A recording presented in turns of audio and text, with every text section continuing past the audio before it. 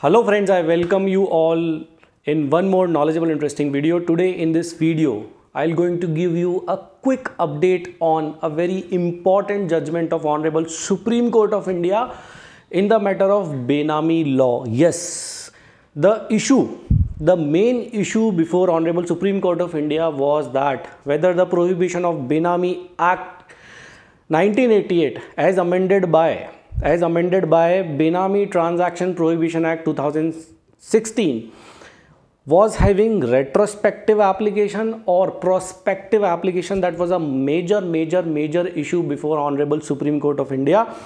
And the judgment has came out and the judgment gives a very very big relief to to lot of individuals and businessmen who got plugged in this benami law due to its retrospective applicability and honorable supreme court of india in its judgment says that the benami amended law was not retrospective it is prospective in nature.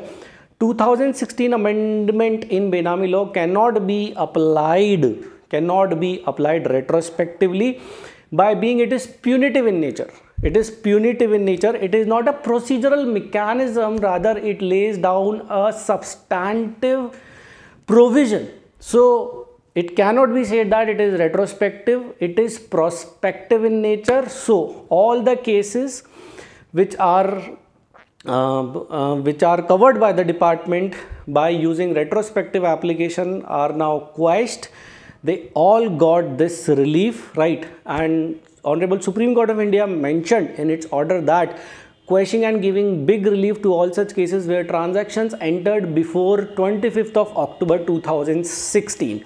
Yes, a very very important judgment of Honorable Supreme Court of India in the Benami law.